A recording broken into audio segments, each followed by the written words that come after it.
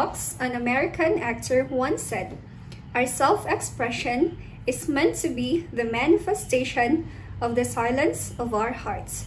So in here, what am I trying to say? Oh well, I'm just saying that language is an art form. Through language, we can communicate. And through communication, we can express ourselves. But the question is, how are we going to express ourselves? Come on, stick around and let's talk about figures of speech. By the way, my name is Pressy and welcome to Can I Talk Academy.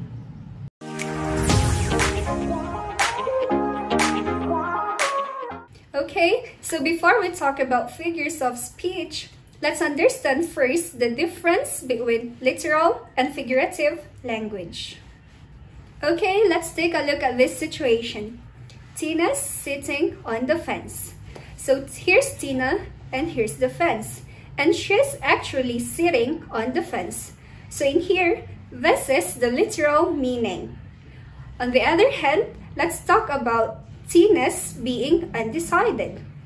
Let's say you ask her if she's in favor or against something. So in here, she's undecided. She can choose if she is for or against something. She can't seem to choose a side. So this is the figurative language that I'm talking about, meaning she's undecided. Okay, so you see, if you read something that has literal meaning, word means what you really want to say. But oftentimes, we're more on figurative language. So in here, you have to interpret. So what are figures of speech? Figures of speech are expressions that means something different from the literal meaning.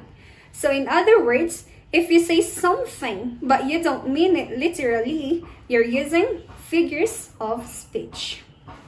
Okay, so let's now move on to our first example. Simile.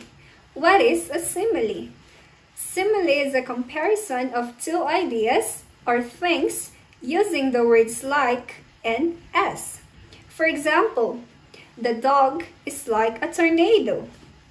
In here, the dog is compared to a tornado, wherein, just like the tornado, it, it destroys everything that it touches. Second example, John is as slow as a snail. So in here, John is being compared to a snail. And we all know that snail is common for their slow pace. So figuratively you say, John is a snail. Another thing here is that sometimes figures of speech is a bit obscure. For example, he's thick as a brick, meaning he's unreasonable. So see, it's obscure. We don't even know what does it mean. But in this scenario, you just have to go back to the past or what we call history. See, it's as tricky as a labyrinth. Okay, next example is the metaphor. Just like the simile, you're comparing two things, but you omit the words like and as. So it implies that the things you compare has the same quality or trait. For example, you're my sunshine. In here, you're not a ray of light, but you have an uplifting effect. Next example, my brother is boiling mad. This implies that he's too angry. Another one is, my friend has a heart of gold. Heart of gold means he's kind and generous. So now, please look around you. It's going to be clear skies from now on. Okay, let's, not, let's now have our third example. Personification. When you say personification, it occurs when you give life to something that is non-living. So you know, you give life to something. Personification. So they're not breathing, but you tend to give them life. For example, the trees were dancing in the breeze. Well, trees don't dance, but humans do. So in here, dancing means they're moving back and forth. Okay, next example is the leaves are waving. Well, leaves don't wave, but they are being moved by the wind. So let's go back to reality. Time flies when you're having fun. Okay, fourth example is the hyperbole. So when we say hyperbole, it's derived from the Greek word meaning overcasting. In another term, we say exaggeration. So why do we need to exaggerate? This is to show emphasis. For example, I can say, I am so sleepy, I can sleep forever. Well, basically, you cannot sleep forever. But you can just use this word forever to show emphasis. Okay, so next example is, I have million things to do today. Million here means I have a lot of things to do. So I just said million just to emphasize. So these days, I'm trying to solve a million issues.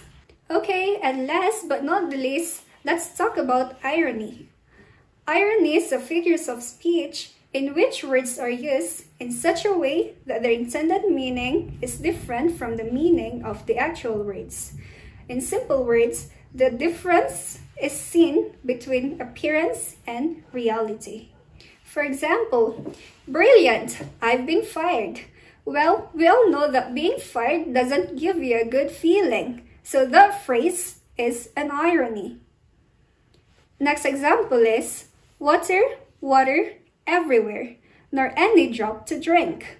So ironically, there is water everywhere, but no drinkable water. Okay, so for our last example, the teacher fails the test. So in here, usually teachers are the one making tests rather than taking them. So they assume or people expect them to have a high score. So in here, it's an irony. The teacher fails the test. Okay, so that's all for today. But to remind you, you should always pay attention when people are using literal language or figures of speech. And now that you know the difference between literal and figurative language, comment your favorite figures of speech and until next time, thanks for stopping by. Bye-bye!